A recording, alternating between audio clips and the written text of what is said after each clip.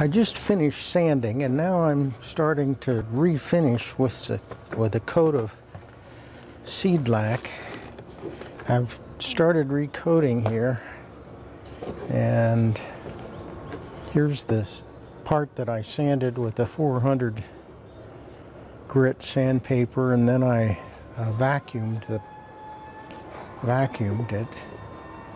Uh, I'm using this artist type brush.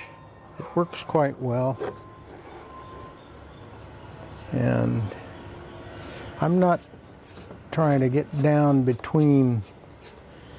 I did that for the first five coats like this. I got down in between, but I don't need to do that anymore. I'm just worried about the top coat now.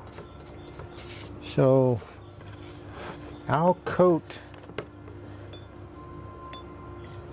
uh, this one and probably some more today. Put some more coats on today. And then tomorrow I'll sand again. Probably put some more coats. And then uh, I'm thinking I'll end up rubbing out with the with some steel wool, 4-aught steel wool. But I'm not sure about that yet. But this this dries so quickly and it's nice to use.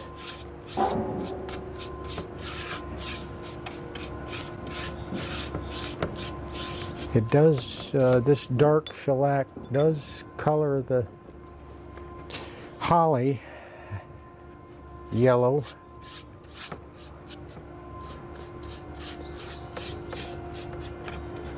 That's all right. This is the look I'm wanting.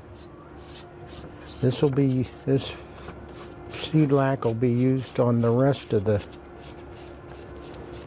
the piece as well.